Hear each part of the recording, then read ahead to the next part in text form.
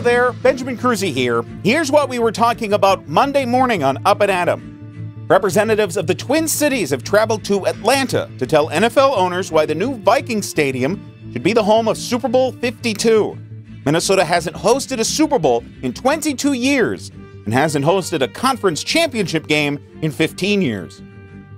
The Green Line, a light rail transit route between Minneapolis and St. Paul, will be open to riders on June the 14th, but is being criticized for its more than hour long journey between the cities. A spokesperson for the Metropolitan Council said that, well, the train is slow.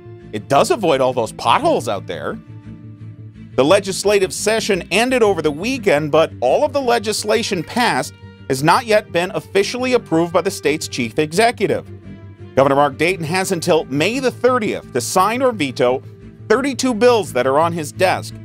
The governor has requested that the legislation be made available on audio CD he can listen to in his car so he knows what's in the bills he's signing this time around.